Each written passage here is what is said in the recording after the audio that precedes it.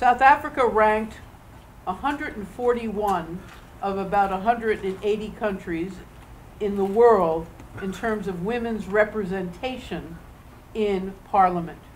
20 years ago, 141. As of this year, 20 years later, it ranks number three. So my first question to Jane uh, is, how do you account for this change? Understanding that membership in parliament or participation or representation in parliament is not the sine qua non of women's leadership, but it's a marker nonetheless. So let's start with that question. And Jane has told me I, she could be talking about this for hours. My job is to get an answer from her and then ask a different question. The obvious answer to the fact that post 1994, post what we call in some circles flag democracy, post colonialism. Why do we call it flag democracy? Because as Alison says, the transition in 1994 was not only not a complete transition, it was in fact not a transition in some substantial ways that I can comment on later. Those ways have to do with the processes of economic infrastructure that have not changed within that particular territory and in fact have deepened. Um, poverty in the year 2014 is in fact, if measured by the Gini, deeper than it was in 1994. For many, leadership meant a commitment to radically different values. Those values had been incarnated in some of the liberation movement's struggles, and they were struggles in the trade union struggles, in the liberation armies incarnation, where there were substantive discourses on the meaning of gender, as well as on the meaning of defeating the apartheid state. A couple of years before 1994, there was a very, very interesting collective called the National Women's Coalition that sought ideas cross country for what, what do you want to see in the Constitution? What do you, is it education? Is it access to jobs? Is it the prevention of violence? What is it? They drew up a charter.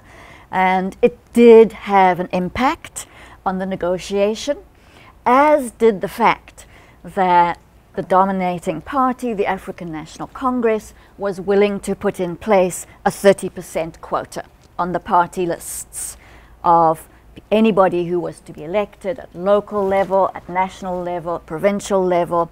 30% of those people had to self categorize as women. Jane, interrupting.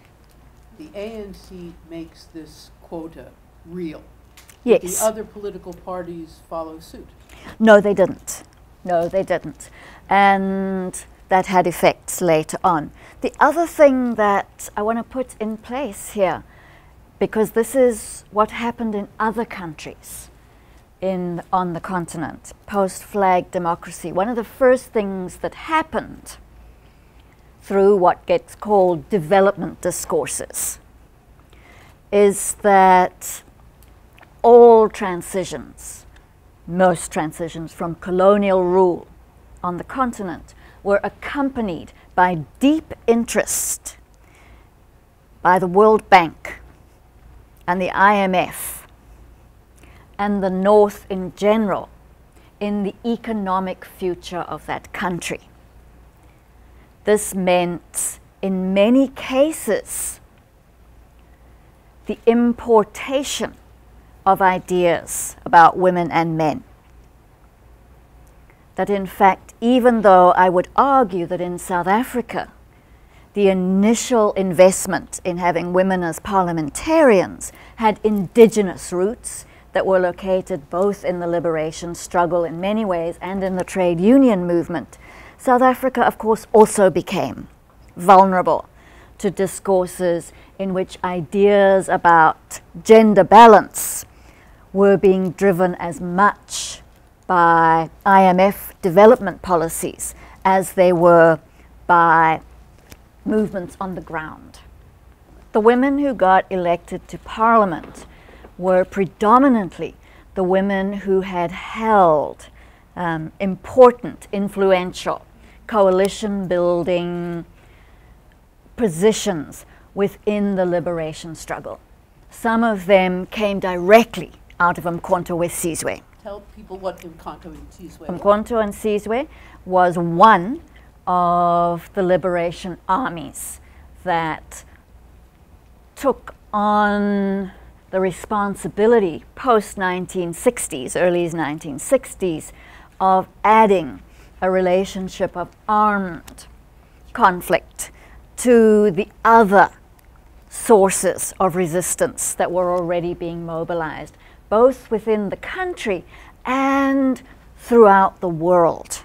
I mean, it's very important to understand that the apartheid regime fell through a concerted and long term effort on the part of many different bodies and organizations. In retrospect, the ANC, um, of which I, up until very recently, remained a member, has explained the fall of the apartheid regime as simply an engagement with the ANC's Liberation Army and the ANC's political resistance. This is simply not the case. It is the case that, that the winners tell the retrospective story. We all know that. But Umkhonto Wesizwe was, was one of the liberation armies. The long story of the past 20 years, which is the years of your lives, mostly, in the room, include by now a, a level of disappointment in what the current state of democracy looks like under the ANC rule, a state in which elitism and a complete irresponsibility to what I would call the facts of the case. What are the dynamics of your own experience of, of let's call it non-racial, which is the ANC ideology? What are the dynamics for you as a white woman in a society in which now, more than ever, uh, whites are, are not necessarily expected to take leadership. If you take intersectional analysis seriously, you will realize that standpoint, positionality, questions of ethics, questions of strategy depend on being able to think through the way you are powerful and the ways in which you are not.